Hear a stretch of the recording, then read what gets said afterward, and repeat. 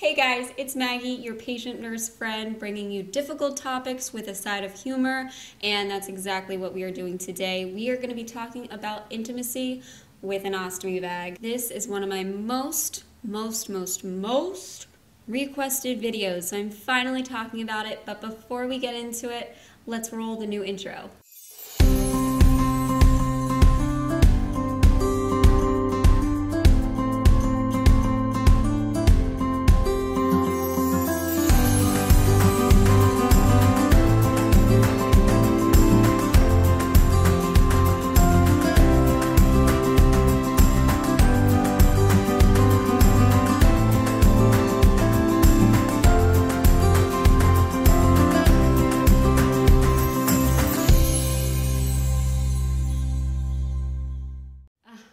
Love that intro. I have watched it probably 50 times because it lets me relive our wedding. So, yeah. All right, like I said, we're going to be talking intimacy with an ostomy. That means sex. Yes, we're going to be talking about sex in this video. So, Dad, please, if you are watching, I beg you not to watch this. You can watch all my other videos, just not this one. I have notes because this video is something that, like I said, has been asked for many many times and I wanted to approach it so carefully because I don't want anybody to fear this. It shouldn't be feared. Even with an ostomy, this topic should be discussed, but it should be done in a tasteful way, and that's what I'm going to attempt here. If you're new to my channel, I am a 27 year old nurse who also happens to have Crohn's disease, and I've been living with an ileostomy bag for over 11 years now. Recently, I've had my rectum and my anus sewn shut, which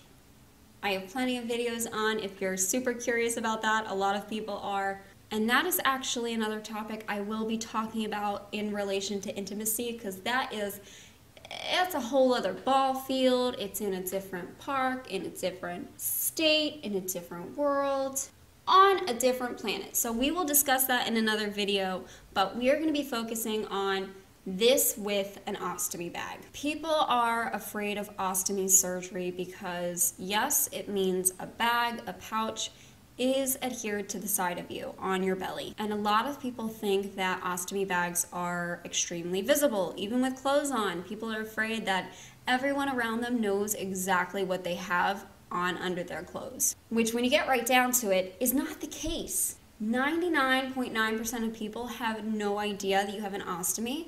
The only time I was ever able to spot another ostomy bag on somebody who I didn't know had one. The person was letting it hang out. Like I wouldn't have known otherwise because there could be a wrinkle in your clothes. There could be, you know, a fold or something. You don't know what it is. No one automatically assumes, yo, stoma. But because it's viewed as extremely visible, people are deathly afraid of it when it comes to sex because you tend not to have too many clothes on uh, during this um, process, which obviously, if you don't have anything to hide it, it's going to be seen. I won't go too far into my sexual history. Please take me on a date if you want to know that. I don't know intimacy without an ostomy bag because I received my ostomy when I was 16. I was not sexually active at the time, so I just couldn't tell you about what life was like before an ostomy. Sex with an ostomy is all I know. It's all I know to be normal for me. With my ostomy, I have always taken the method of being totally transparent with everybody.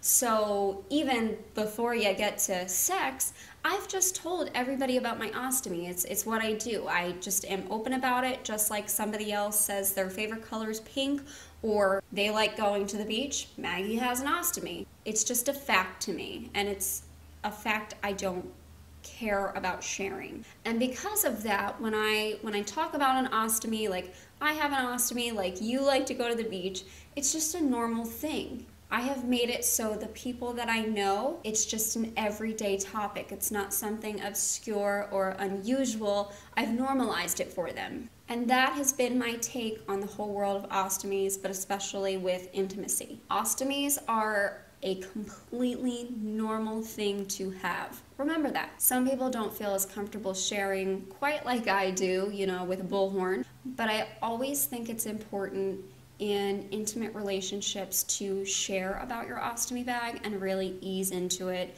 Show the person your ostomy, tell them how it feels, how you care for it, um, what might hurt you, what wouldn't hurt you. Because a lot of the times when it comes to sex with an ostomy, the fear is more on the other person. They're kind of afraid that they're going to hurt you. And if you've had an ostomy for quite a while, you may know that you can do just about everything that everyone else does. That a slight bump to your stoma may not hurt like your partner thinks it would.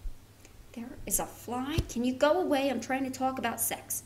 Talking about it avoids any surprises. I have had friends that choose not to tell about their ostomy before coming intimate with somebody, so it winds up being a surprise in the moment. And to be honest, that that terrifies me. If I was going to be intimate with somebody, now I just got married, so it's going to be Zach, but if I was going to be intimate with somebody and they didn't know about my bag, I would much rather want them to know about it beforehand rather than when it's getting hot and heavy and you know all the good stuff's happening. Also remember, you know, you could be at any point in your ostomy journey, but particularly when you're early on, if you've just had surgery within the last few months or you have not had sex before with your ostomy, it's it's new. Take it slow. Take it slow. There may be some pain. You may need to work into it. You don't want to just rush into it definitely, definitely take it slow. There are other ways to be intimate than plain old sex, if you know what I mean. Just take it really easy and talk with your partner to make sure that they're aware of this. And just because it hurts the first time doesn't mean it's going to hurt continuously. I've got a few tips for you that I've collected over the years from friends that have had ostomies and just my own experience that I'll tell you it really helps when you're getting some action, so hopefully they will help you. The number one thing that I can tell you is to empty your bag beforehand. It's it's the best thing that you can do. Whether or not you want to cover it with something, you want to make sure it's as empty as possible because that's the time where it might pop on you.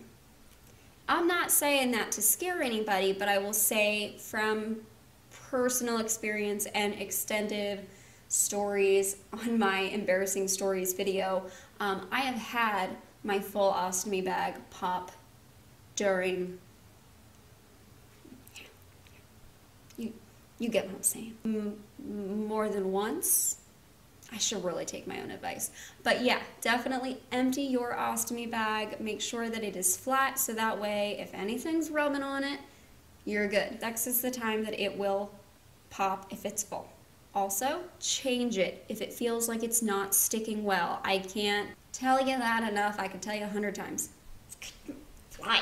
If you feel like it's sort of lifting off of your skin, but you think, man, usually in this situation I'm good, eh, when you're intimate, that's the time that it's going to lift a little bit faster and it may leak on you. How do I know this, you ask? Well, I've experienced it. It really sucks. I also recommend using deodorizing drops beforehand just in case your bag leaks. If you've got the deodorizing drops, you may be okay. You may be able to hide it if you're a little bit nervous with your partner, you're not used to them, or you've just met until you're done and can go to the restroom and change your bag. Also, depending on the filter of your bag, pressure on your bag may release more air, so the deodorizing drops will really help there. Mini pouches are a great idea, especially with two pieces. You can pop off your regular large bag and put on a mini pouch.